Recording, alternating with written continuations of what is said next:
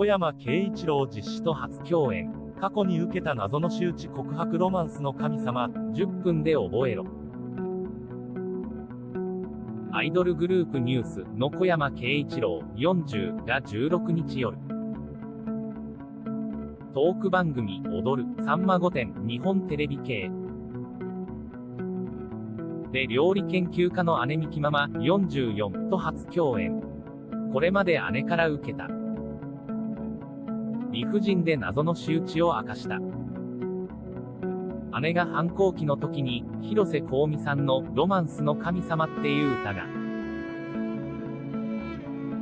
あれをなぜかその歌詞を完璧に覚えて歌えないと寝かせないっていう。そんな仕打ちにあったことがありまして。同曲がリリースされたのは1993年末で、小山は当時9歳。時期は明言しなかったが、小山が小学校高学年から中学生の時のエピソードとみられる。当時、縦型の CD、シングル、をばって渡されて、お前。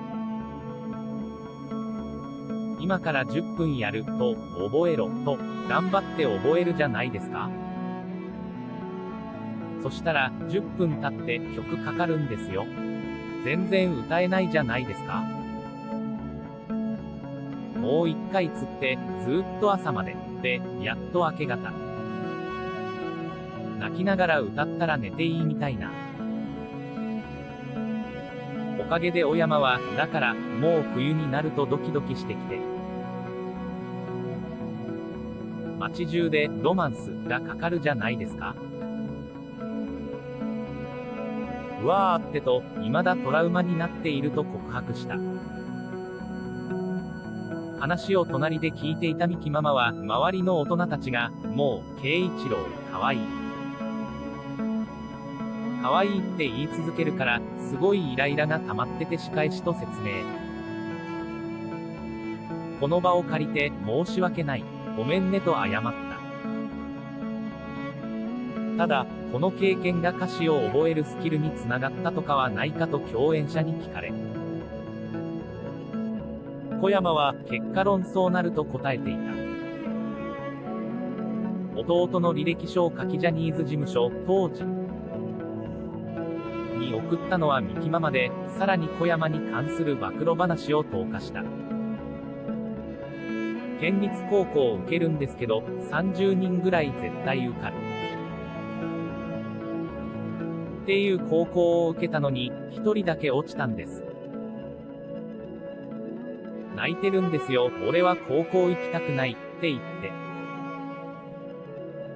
で、かわいそうだな、と思って、メイクしてあげたんですよ。めっちゃかっこよくしてあげて、で、写真撮って、履歴書書いて。返信が来たのはなんと1年後で、小山が2年生に進級した頃だった。